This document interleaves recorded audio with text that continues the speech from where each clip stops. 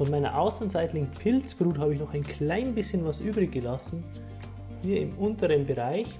Und was ich jetzt versuchen möchte, ist, dass ich in diesem Eimer einfach nur durch permanentes Hinzugeben von Kaffeesatz auch nochmal einen Kaffeesatz Pilzmyzel-Gemisch hochziehe. Hier habe ich wieder frischen Kaffeesatz. Der kommt jetzt einmal mal damit hinein. Dann mische ich mal fleißig durch, dass quasi von überall das Durchwachsen starten kann. Und jetzt drücke ich das noch leicht fest. Dann schnappe ich mir den Deckel und den Deckel, den lege ich jetzt oben auf. Ich drücke den gar nicht fest. Und das Ganze stelle ich jetzt an einen kühleren Ort, so 20 bis 25 Grad und dann sollte eigentlich das Myzel durch unseren Kaffee durchwachsen. So, das Ganze stand jetzt erstmal ungefähr eine Woche im Keller bei um die 23 Grad. Ich mache mal etwas mehr Licht. Unser Austernseitling Pilzmyzel ist sehr gut durch den Kaffeesatz durchgewachsen. Wir erkennen sehr viele schön weiße Myzelfäden, nichts grünlich, gelblich, orangliches, was auf Schimmel hindeuten könnte. Ja, es scheint also wirklich gut zu klappen und deswegen gibt es jetzt die nächste Schicht Kaffeesatz.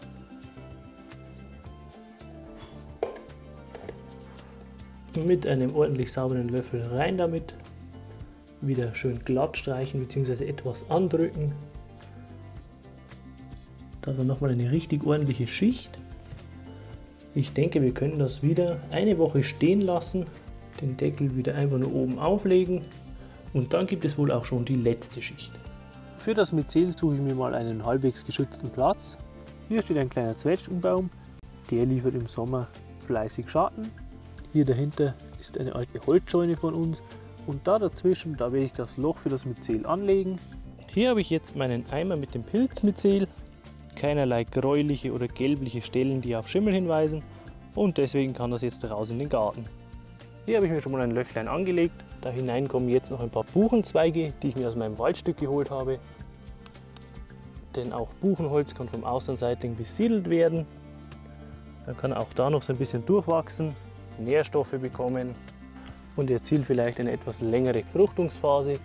Die Zweige haben alle unterschiedliche Decken, Zusätzlich habe ich weiteren Kaffeesatz gesammelt. Mit dem fülle ich jetzt auf jeden Fall auch schon mal auf. Und jetzt versuche ich das Ganze mal vorsichtig rauszuholen. Ich drücke einfach ringsherum in der Hoffnung, dass es dann irgendwann nach unten rutscht. Das Ganze natürlich mit sauberen Händen. Dann breche ich es in der Mitte durch ja, oder in mehrere Teile, damit in allen Ecken was wachsen kann. Ich denke, solche Stückchen hier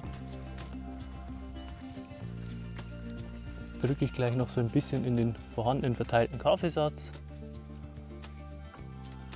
Oben auf dann den restlichen gesammelten Kaffeesatz.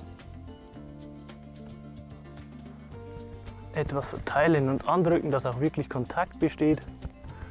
Dann gebe ich weitere Zweige mit drauf und dann etwas von der ausgehobenen Erde wieder mit drauf. Ich gieße jetzt schon mal ein bisschen mit frischem Leitungswasser ein damit wir da ein bisschen Feuchtigkeit reinbekommen. Und zum Schutz decke ich das Ganze hier mit so ein bisschen Ästen mit Laub ab. Wenn die Fruchtkörper später da durchkommen, liegen sie auch nicht direkt in der Erde und damit im Schmutz. Schön weiter eingießen und dann warten wir ab, wie sich das Ganze entwickelt. Anfang Oktober habe ich wieder bei unserem Beet vorbeigeschaut. Überall Austernseitlinge sehr erfreulich, da werde ich jetzt auf jeden Fall direkt ernten. Die haben schon eine tolle Größe.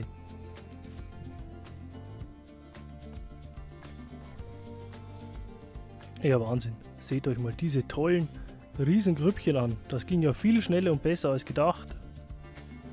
Denen scheint der Platz hier echt gefallen zu haben. Die sprießen gerade überall raus, auch kleine Grüppchen sind noch vorhanden. Auch da unten drin ist noch ein Ansatz. Ich decke die jetzt wieder schön zu